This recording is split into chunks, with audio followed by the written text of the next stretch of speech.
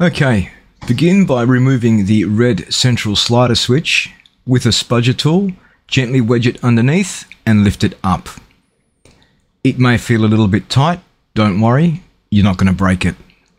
Using the same technique, we'll remove the right dial, just wedge it underneath and gently lift and twist and that should pop off quite easily.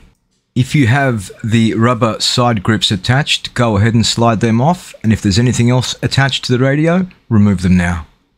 Flip the transmitter face down so you can access the battery door and battery. With the spudger, gently dislodge the battery from the battery bay. That allows you to gain access to the connector. Using a pair of tweezers, gently wiggle the connector back and disconnect the battery from the transmitter. Now that the battery is removed, we can begin to take the back cover off. You'll notice that the back cover is held by four Phillips head screws. They are all the same size, so go ahead now and unscrew those four screws.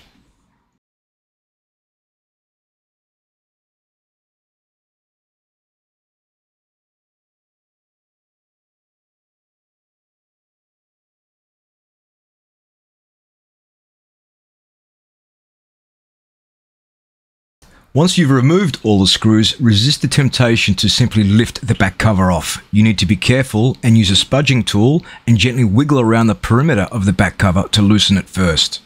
You'll notice I'm using little small twisting motions to gently loosen the case from the top to the bottom. Take your time loosening the back case. You might experience a little difficulty near the left and right slider switches. That's because they're attached to both the top and bottom part of the shell. If that's the case, simply push the slider down off the back cover. Now, grabbing the bottom of the shell, gently lift and pivot it to a 90 degree position. From here, you will notice a coaxial cable from the back cover to the RF board is connected. That is a 900 megahertz antenna which sits inside the handle. Go ahead and remove that now. Once you've disconnected that coaxial cable, you're free to remove the back cover from the rest of the transmitter. Inspecting the back cover, you'll notice four Phillips head screws. They are what hold the handle which couples as the 900 MHz antenna into place. If you want to remove that, simply remove those four Phillips head screws and gently pull the handle off. This is what the handle looks like once you've removed it from the back cover. Next, you're going to label the remaining four coaxial cables, each of which corresponds to a particular antenna of the transmitter. The RF board also marks where each coaxial antenna cable is supposed to be placed. Once you're confident of cable placements, go ahead and remove each coaxial cable carefully with your spudger tool, one by one, being very careful not to damage the connection on the RF board.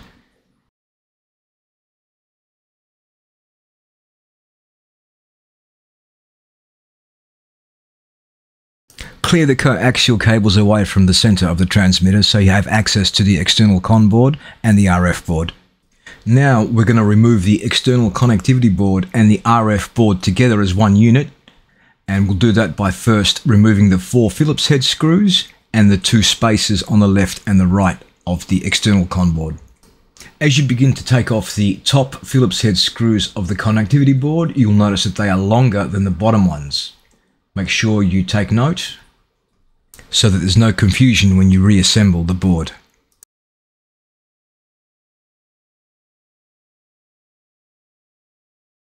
Go ahead and do that now.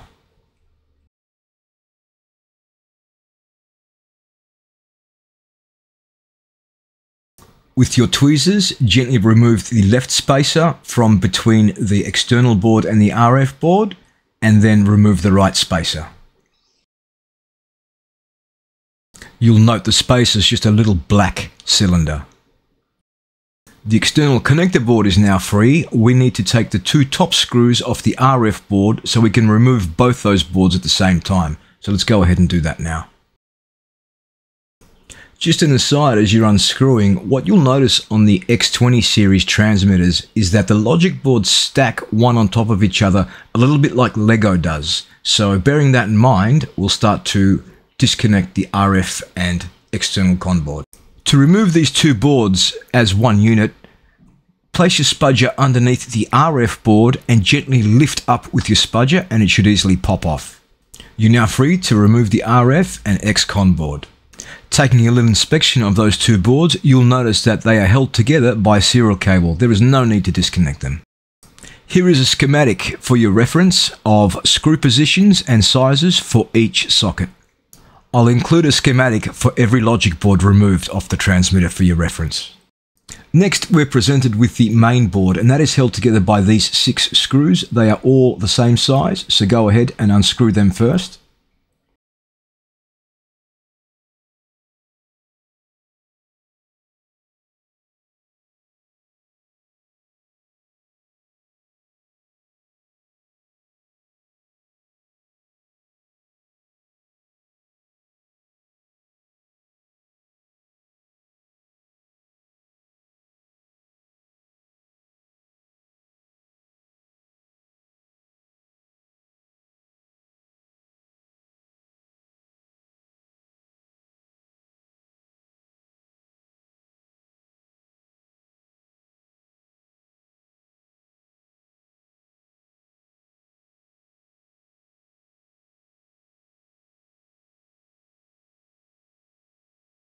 Now using a pair of tweezers, you're going to disconnect the audio speaker JST connector from the main board.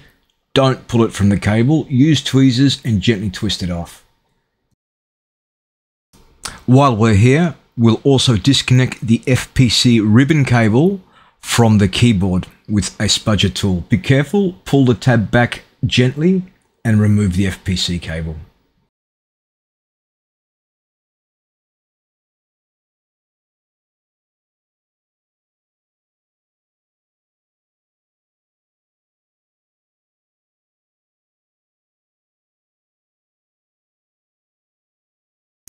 With your spudger tool, gently wedge underneath the bottom right of the main board and gently lift and twist. Do the same for the left hand side, wedge it underneath, gently lift and twist, and the main board should pop up. Now that the board is free, go ahead and remove that from the transmitter. With the main board removed, we are now presented with the PWR board. But before that, here is a schematic of the main board and the screw and fastener positions.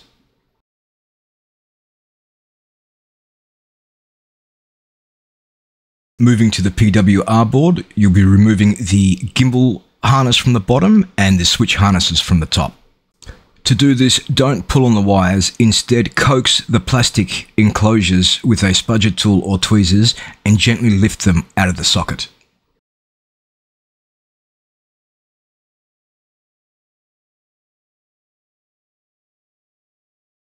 Next, you're going to unscrew the six Phillips head screws, two of which are hidden underneath the keyboard FPC ribbon cable.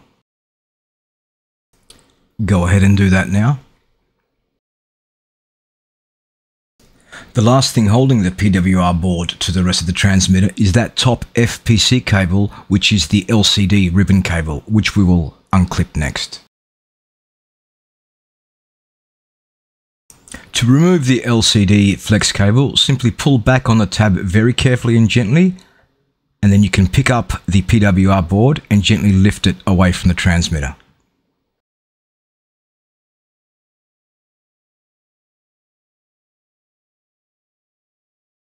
Once again for your reference, a schematic of the power board and the screw positions.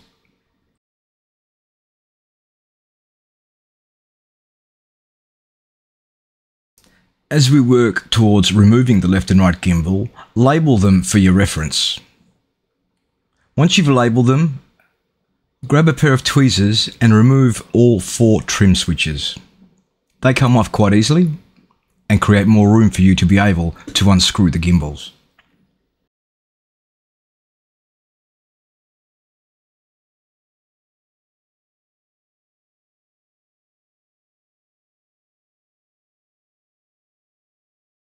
Looking more closely at the left and right gimbal, they are held down by four screws. Simply remove them and you'll be able to lift the gimbal away from the transmitter.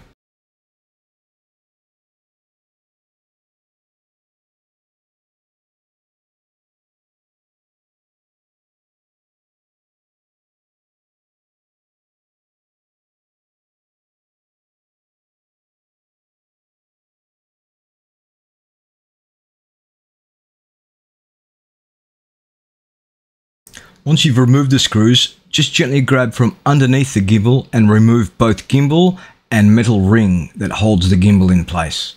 Do this for the left and the right gimbal.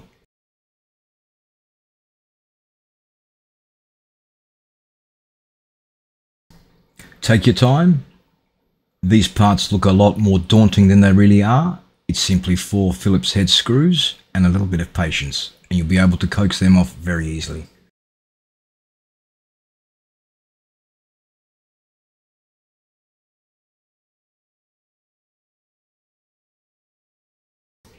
For your reference, a schematic of the gimbals and the screw positions for the gimbals.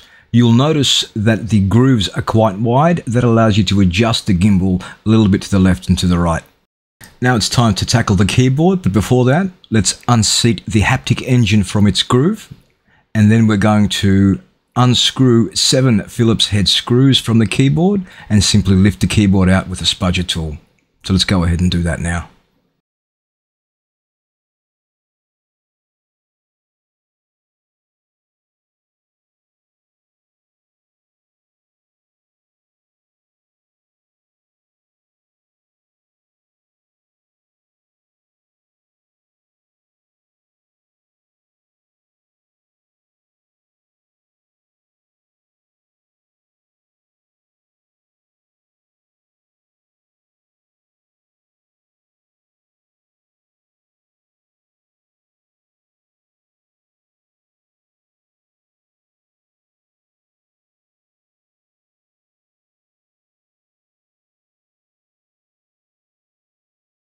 Like before, here is a reference for your keyboard and screw and fastener positions. Here, all the screws are the same size.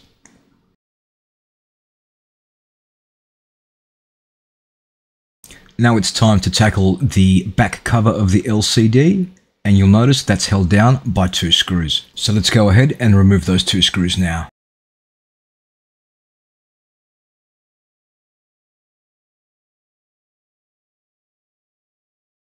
To remove the back LCD cover, gently grab the bottom lip and pull it back and towards you and gently lift up.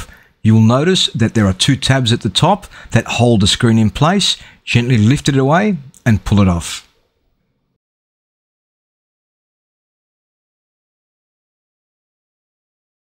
Looking at the LCD back cover, you'll notice two holes, and if you look at the frame where the LCD cover sits, you'll see two tabs. This gives you the intuition as to how that cover sits on the frame.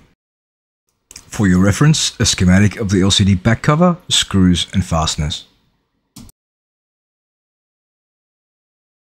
Next, we need to remove this bracket, and that is held down by two screws. So let's go ahead and unscrew those two screws.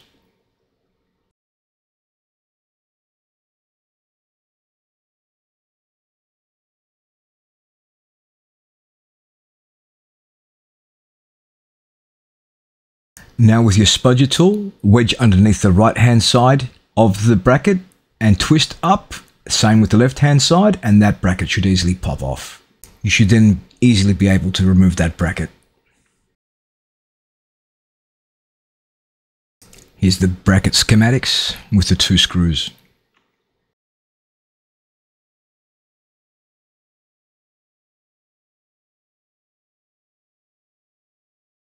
The final logic board left is the LCD driver board and that is held down by two tabs. So gently pull on the left tab and gently pull up with your spudger on the upper left side of the board. Don't try and remove the LCD driver board yet. Turn the transmitter over and lift the LCD driver board up to reveal the LCD and digitizer flex cables. With a spudger tool, gently pull back on the tab of the LCD and then the digitizer flex cables to be able to free and remove the two flex cables. Once removed, you are free to remove the LCD driver board away from the rest of the transmitter.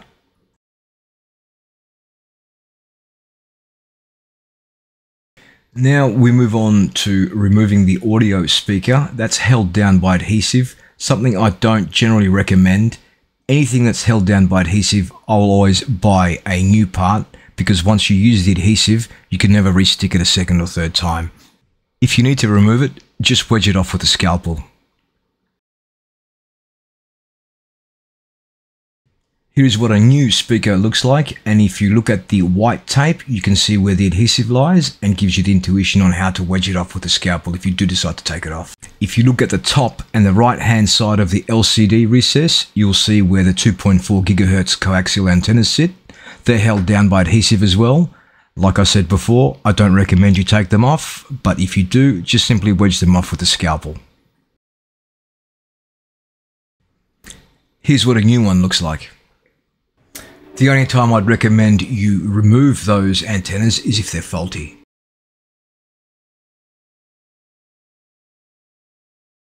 Next is the LCD and digitizer and is not recommended you do this. If the part is damaged and needs to come off, set your heat gun to 150 Celsius maximum.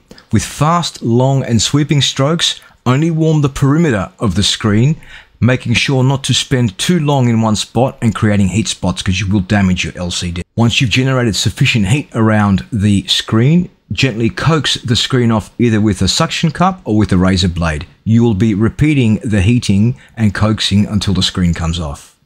I'm going to stress in this warning, do not do this unless this part is damaged. If you're simply shell swapping, buy a new LCD and save yourself the pain.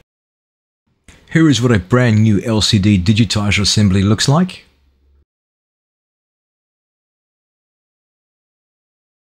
Looking at the flip side, you get an idea of where the adhesive tape is on the LCD digitizer combo and it gives you the intuition in case your damaged LCD needs to come off and you need to use the heat gun method to remove this part. Okay, from here what's left are the toggle switches and pot switches. Before you're in a mad hurry to remove these switches, label them carefully and take note of the color of the top wire of each toggle switch. You'll notice each switch is a little bit lower than the last and I simply numbered from 1 to 5 so I could identify where each position and switch is placed. Again, I can't stress enough, take note of the color of the top wire. The left and right slider switches simply fit in a groove and you can lift them off with ease. Now to remove the toggle switches, you will need a toggle switch removal tool or bezel tool. And what you simply do is fit the bezel tool over the top of the top nut and unscrew it like you would a normal nut or screw.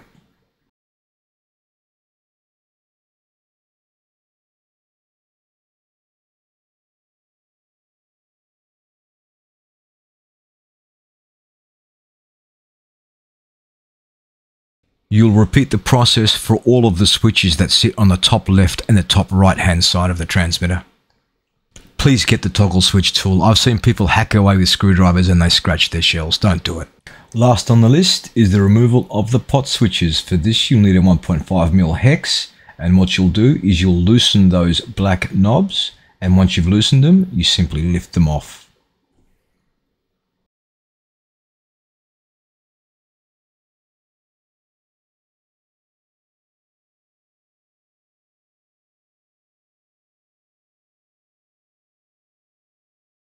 Once you've removed both black dials, you will grab your toggle bezel switch tool and you'll simply remove that top nut much the same way you did with the toggle switches.